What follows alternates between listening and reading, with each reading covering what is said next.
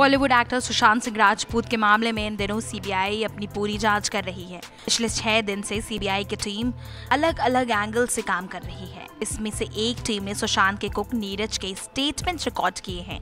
तो दूसरी टीम सबूत जुटाने में लगी है। इस केस में मंगलवार को कुछ अहम खुलासे हुए थे। या चक्रवर्ती की कुछ पुरानी व्हाट्सएप चैट सामने आई है, जिसमें कथित तौर पर उनके तार ड्रग डीलिंग से जुड़ते दिखाई दे रहे हैं। या के इन चैट की जाँच अब सीबीआई के साथ नार्कोटिक्स कंट्रोल विभाग भी कर रहे हैं। उसी तरफ़ खुद को सुशांत का दोस्त बताने वाले संदीप सिंह की कॉल डिटेल से पता चलता है कि वो सितंबर 2019 से सुशांत के संपर्क में नहीं थे।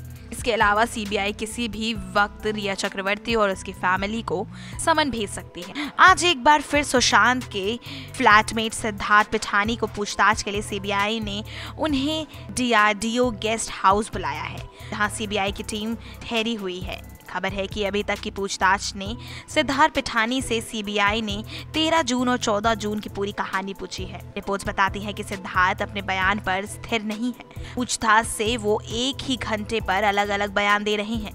इसके अलावा उनके बयान कुकनीरज और हाउस हेल्प केशव से भी मैच नहीं कर रहे हैं। ऐसे में सीबीआई का शक गहरा हो रहा है। राज्य मानवाधिकार आयोग ने कपूपर अस्पताल को नोटिस भेजा है। ये नोटिस रिया के अस्पताल की मॉर्चरी से जाने को लेकर है। इसमें पूछा गया है कि रिया को शव गृह में जाने की इजाज़त किसने दी?